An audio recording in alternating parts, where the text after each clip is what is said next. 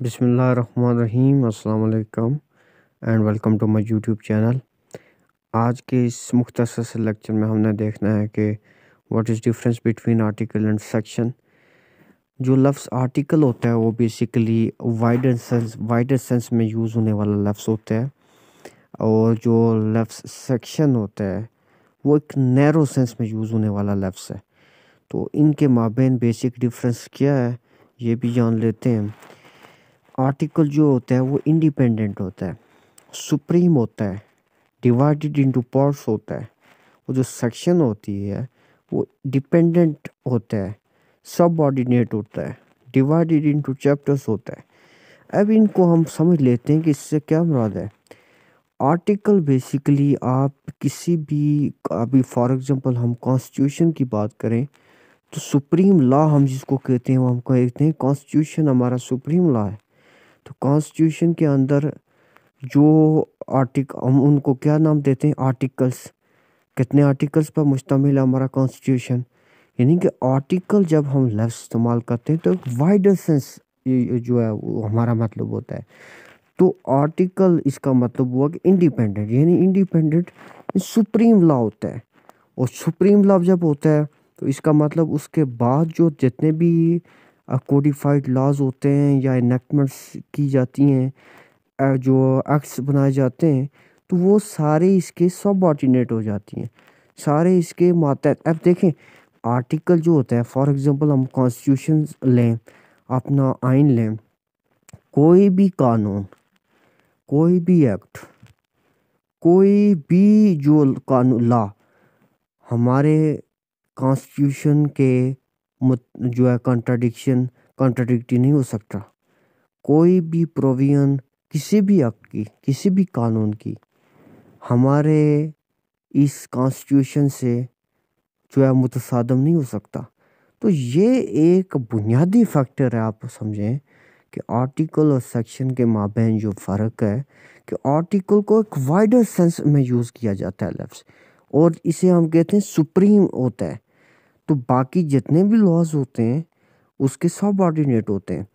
अब यहाँ पर एक क्वेश्चन पैदा होता है कि ये तो चलो हमने मान लिया कॉन्स्टिट्यूशन की हमने एग्जांपल दी। तो इसी तरह तो हमारा जो लिमिटेशन एक्ट 1908 है, उसका अगर सेकंड पार्ट देखें तो वो आर्टिकल्स पर मुश्तमिल है। तो फिर इसका मतलब है कि ये आर्टिकल्स फिर ये ये कैसे हम कॉन्स्टिट्यूशन को उसको डिफरेंस उससे डिफरेंट करेंगे? और कैसे वो आर्टिकल उसे हमने उसके कुछ पार्ट को आर्टिकल्स में चेंज कर दिया? और इसका मतलब है कि क्या बाकी लॉज उन आर्टिकल्स के मरून मिनत है? तो ऑफ़ कोर्स यस वो कैसे? आपने देखा होगा कि लिमिटेशन की जब बात आती है, किसी भी सूट की, चाहे वो पोजेशन का हो, चाहे वो स्पेसिफिक परफॉर्मेंस का हो वट जो भी सूट हो जब भी लिमिटेशन की बात आती है तो लिमिटेशन एक्ट 1908 के अंदर जो आर्टिकल्स हैं, उनको देखा जाता है। उनको देखा जाता है, परखा जाता है कि आया उन आर्टिकल्स के अंदर इस चीज़ की लिमिटेशन क्या है। जैसे फॉर एग्ज़ाम्पल कोई कोई अग्रीमेंट होता है, दो पार्टीज़ के दरमियान कोई कॉन्ट्रैक्ट होता है।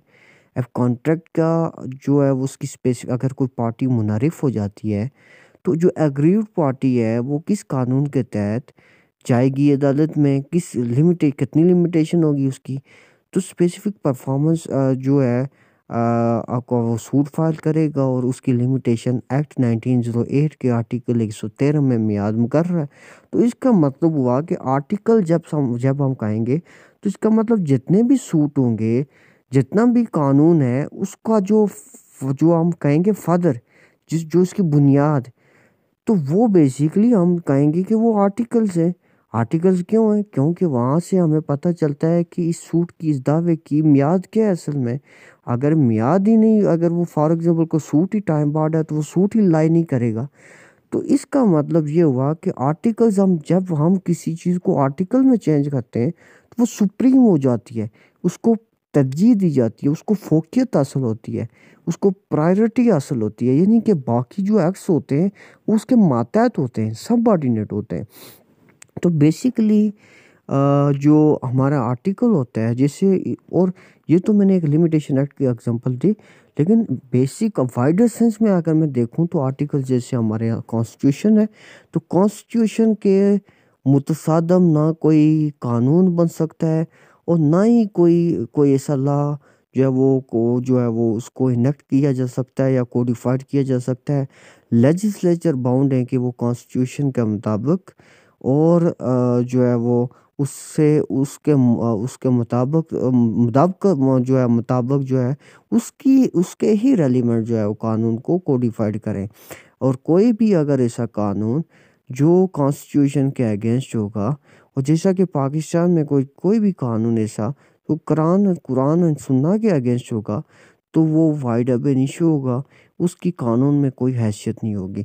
तो आर्टिकल बेसिकली समझाने का मकसद ये था कि आर्टिकल जो लफ्स होता है, उसको सुपर सुपरमेसी जो है हासिल होती है एज़ कंपेयर टू सेक्शन तो उसकी मैंने एग्जांपल्स भी दी। होप सो आपको वीडियो पसंद आई होगी। अगर पसंद आई तो वीडियो को लाइक करें, मेरे चैनल को सब्सक्राइब करें। और बेल आइकन को भी साथ प्रेस कर दें। मिलते हैं नेक्स्ट वीडियो में, तब तक के लिए अल्लाह हाफिज़